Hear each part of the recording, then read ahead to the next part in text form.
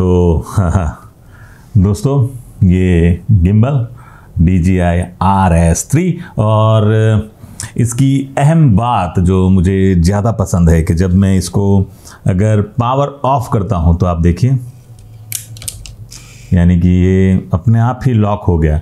अगर मैं इसको पावर ऑन करता हूँ तो अपने आप सारे लॉक खोल देगा। ये मुझे बहुत पसंद आया। अच्छा लगता है बहुत मज़ा आता है।